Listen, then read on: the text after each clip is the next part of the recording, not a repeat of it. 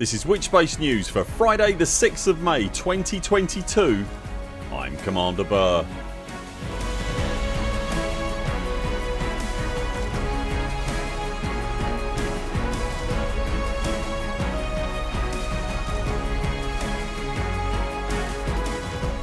In Elite Dangerous news this week Professor Palin hosts a new community goal with unique rewards up for grabs.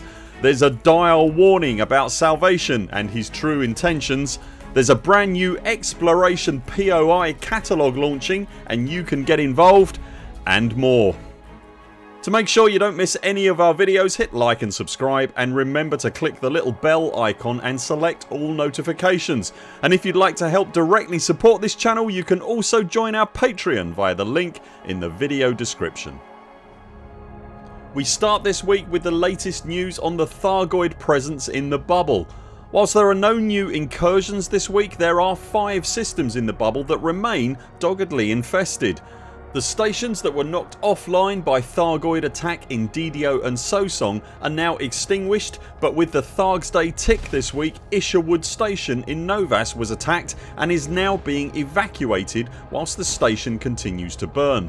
As always you'll find permalinks in the video description to the discord for the post disaster evacuation service should you wish to participate in that effort alongside other commanders dedicated to the role.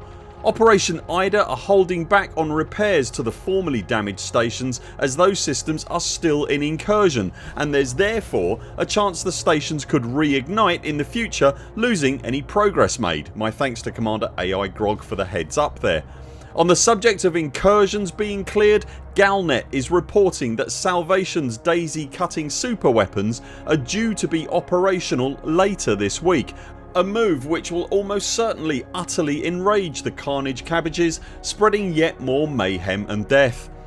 A new community goal went active this week that is offering unique modules as part of its reward package the goal, initiated by the galaxy's foremost expert in all things Thargoid Professor Ishmael Palin is asking for huge quantities of the mysterious Thargoid barnacle byproduct Meta Alloy which you can find growing on the spiky outgrowths around the surface based alien service stations. In return for your efforts should you be in the top 75, 50 or 10% of contributors you will find yourself rewarded with a 4A, 5A or even 6A respectively corrosion resistant cargo rack which will apparently prove useful in the upcoming phase of what appears to be an ongoing series of community goals from Palin's ongoing research into the murderous goopy gardenias.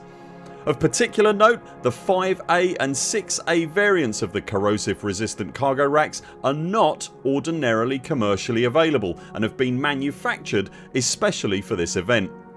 And whilst we're talking Thargoids, Salvation and the forthcoming apocalypse we missed this last week but fortunately the eagle eyes of Commanders Beetlejude and Wotherspoon of Galnet News Digest didn't there are fully voice acted interviews with the commanding officers of three capital class vessels that are stationed in the three most recently invaded systems in the bubble that are automatically uploaded to your ship if you enter their local space.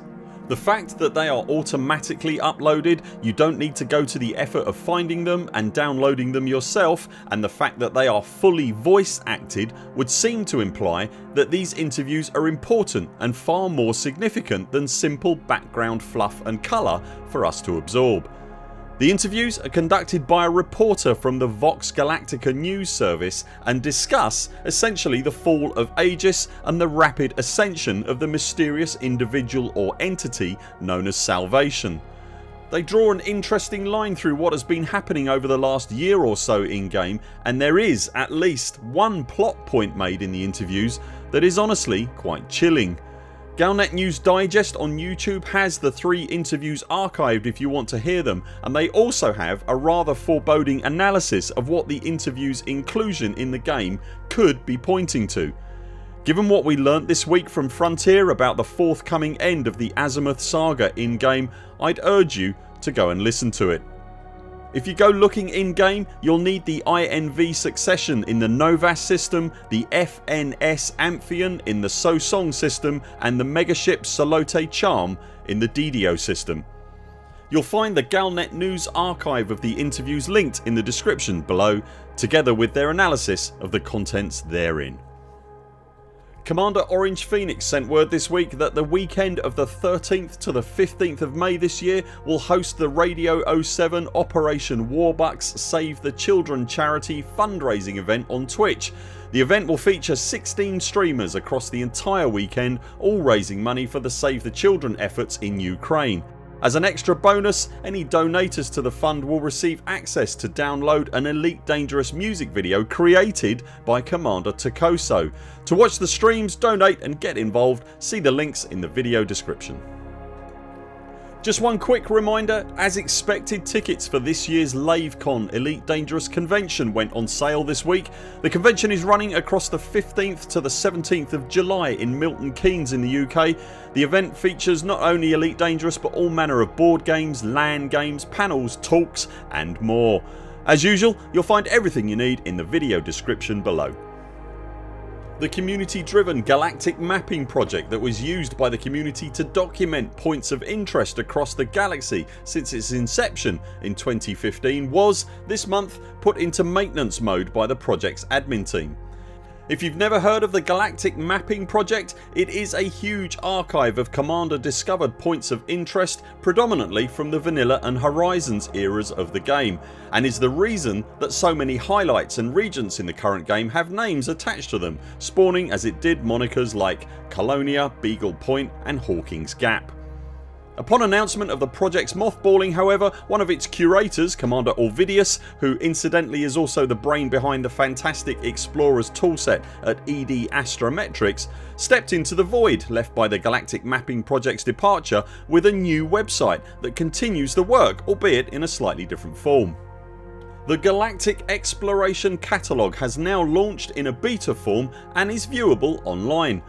The site will allow commanders to submit their own POIs and score other commanders submissions all overseen by a team of curators.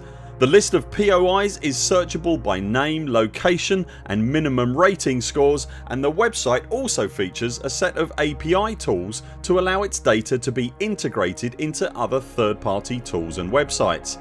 Whilst the loss of the GMP is undoubtedly keenly felt, nature abhors a vacuum and it's fantastic to see this new initiative stepping into the void so quickly. I've linked to the Galactic Exploration catalogue below. You'll also find a link there to the project's official discord server and if you've never checked out the ED Astrometric suite of tools then that's also linked below. It's a fantastic exploration utility featuring interactive maps, graphs, sample ship builds, a guide to getting started with exploration, a ship name generator and more. Will you be submitting your exploration finds to the new Galactic Exploration Catalogue? Do you think Salvation's intentions are noble and he's merely misunderstood? Will we be seeing you at LaveCon this year? Let us know in the comments below. That's it for now. Thanks very much for watching. We'll be back later this week with more videos. Until then 07 CMDRs follow the greens on the way out and do keep clear of the toast rack. We very much look forward to seeing you next time.